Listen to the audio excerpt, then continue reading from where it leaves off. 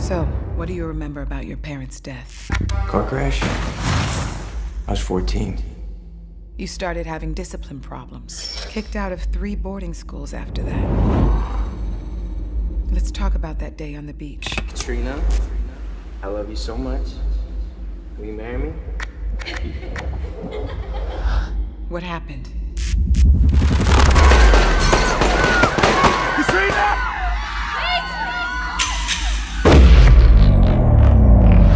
Gave up everything after that, didn't you, Mitch?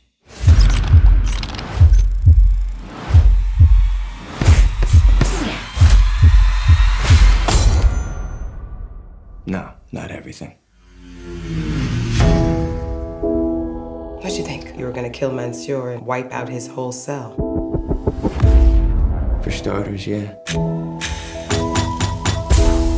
I like your agenda.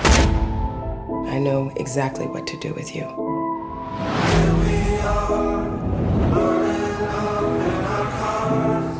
So what do I need to know about this guy? He's a warrior. Best I've ever known.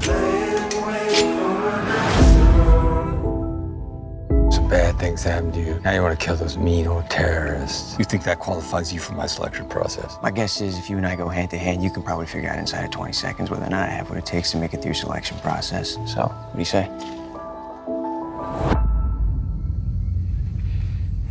Kill me.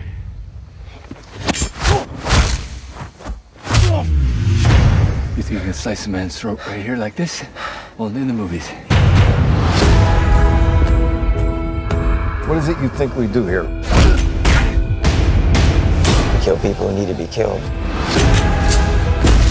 Out there, you're a ghost. You don't exist.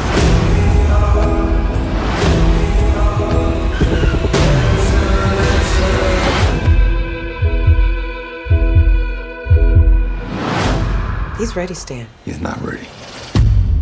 He will be.